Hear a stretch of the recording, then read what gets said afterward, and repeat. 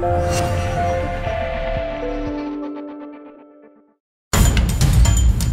Terriers of Boston University fell to the Northeastern Huskies at Agganis Arena on Saturday night by a score of 4 to 1. Northeastern broke on top past the halfway mark of the opening period and added a pivotal goal with one tenth of a second remaining for a 2 to nothing lead. Jordan Greenway provided the only BU offense of the evening at 2.09 of the second period, cutting the Husky advantage in half. Harper looks, Harper throws it in front of the goal. Patrick Harper.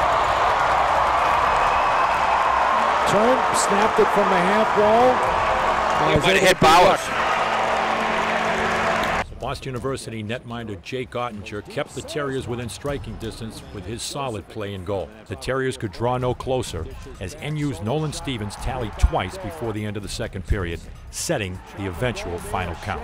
The Terriers will travel cross town to their former home and take on the Huskies once again at Matthews Arena Friday night. Puck drop for the rematch at 7 p.m.